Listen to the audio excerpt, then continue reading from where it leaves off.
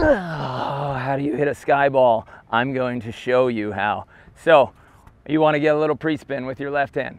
Get a good amount of pre-spin. You don't want to toss it too low, but you also don't want to toss it too high. Get a nice medium toss. Once you toss, the most important thing about a sky ball is getting the stretch back. Throw your hand back and you can hit it on your wrist or the edge of your hand. The only important part is that you hit it just barely on this hemisphere of the ball so that when it does go, it goes up, forward, and it has that top spin.